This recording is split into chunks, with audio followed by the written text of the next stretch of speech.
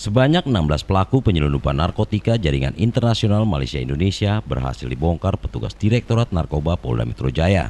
Dari tangan pelaku, petugas menyita 382 ribu pil ekstasi dan 30,5 kg sabu-sabu senilai 160 miliar rupiah. Para pelaku yang terdiri dari HS 44 tahun dan IPN 23 tahun ditangkap di apartemen Puri Kasablanka. Sementara GBK 40 tahun, NGK 38 tahun warga negara Malaysia dan JXW 41 tahun warga negara Cina ditangkap di apartemen Ambasador.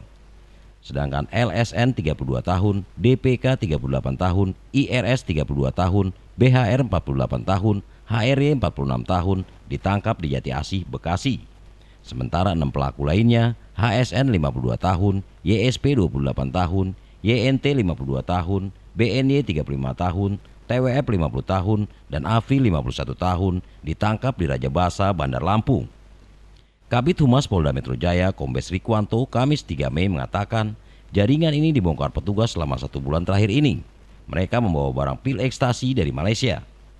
Menurut Rikwanto, jaringan ini masuk Indonesia melalui pelabuhan gelap di pantai timur Malaysia, kemudian masuk ke Dumai Riau maupun Batam dengan menyewa kapal nelayan. Barang haram tersebut mereka masukkan ke dalam koper, seperti membawa pakaian sehingga nelayan tidak mengetahuinya. Kini ke-16 pelaku berikut barang bukti diamankan di Polda Metro Jaya. Mereka dijerat pasal 114 Jo, pasal 132 subsidiar pasal 112 Undang-Undang RI nomor 35 tahun 2009 tentang narkotika dengan ancaman hukuman mati. Dari Jakarta, Din Widodo, Pos Kota TV melaporkan.